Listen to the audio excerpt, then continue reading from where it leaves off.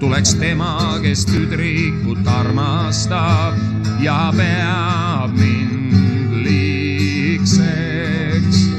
ei heida ma vaiksel saginal põrandale ma poeks.